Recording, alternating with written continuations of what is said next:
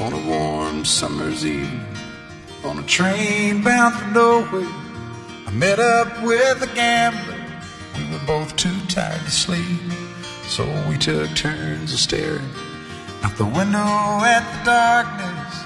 Till boredom overtook us, and he began to speak. He said, "Son, I've made a life out of reading people's faces and knowing what the cards were by the way they held their eyes." So if you don't mind my saying, I can see you're out of aces.